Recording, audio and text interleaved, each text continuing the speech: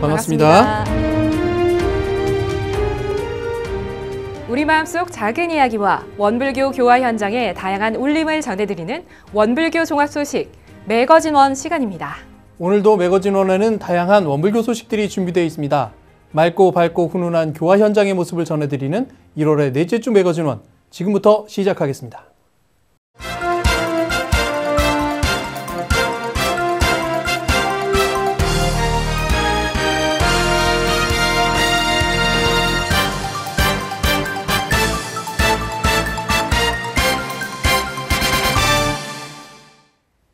이낙연 국무총리가 전산 종법사님을 예방했습니다.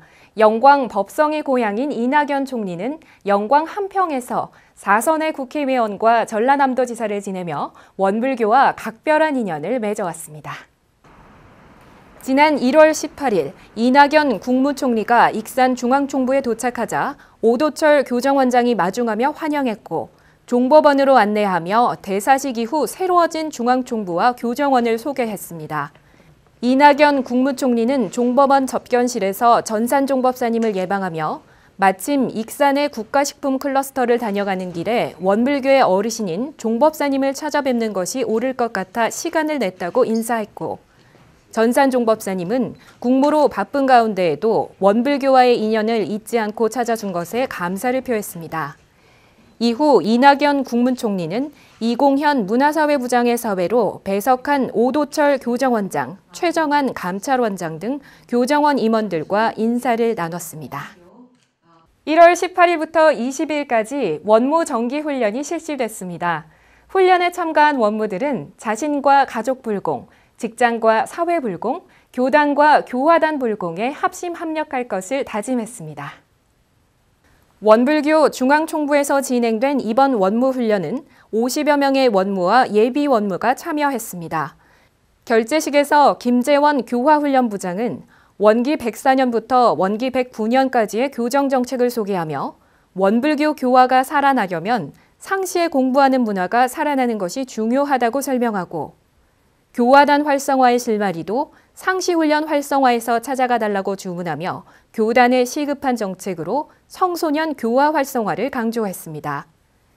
이어진 전법훈련 스피드 강연에서는 원무들이 현장에서 교법을 실천하고 실증한 내용이 발표됐습니다.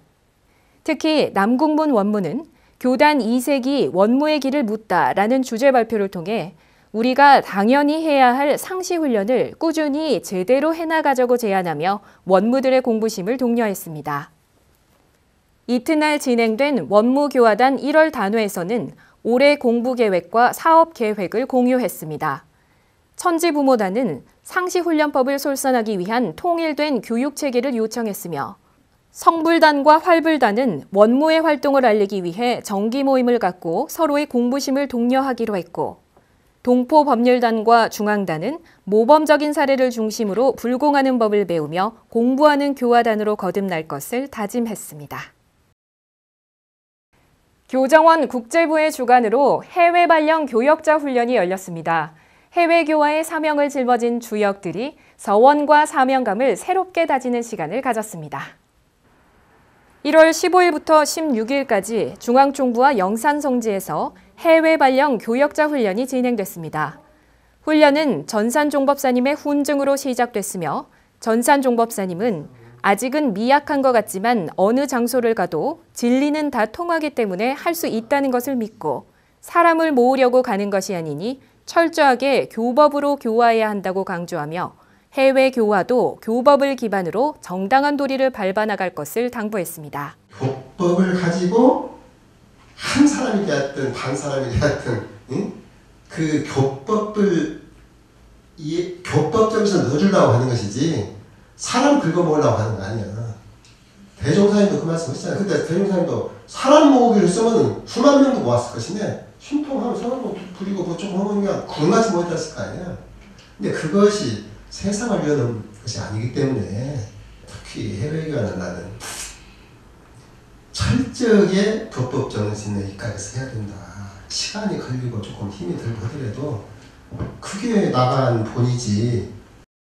다음 날 영산 성지를 찾은 해외 발령 교역자들은 삼바제에서 서원다짐의 기도와 사은 헌배를 하며 성지를 참배한 후 해외 교화에 대한 서원을 주제로 회화를 했습니다. 해제식에서는 오도철 교정원장으로부터 사령장을 수여받고 박만철 국제교화 사업회장의 초청으로 오찬을 함께하며 훈련을 마무리했습니다. 원기 104년 해외 발령 교역자는 모두 11명으로 미주 총부법인 1명, 미주 동부교구 1명, 미주 서부교구 4명, 중국교구 1명, 일본교구 1명, 유럽교구 2명, 총부 해외 직할교구 1명이 파견됐습니다.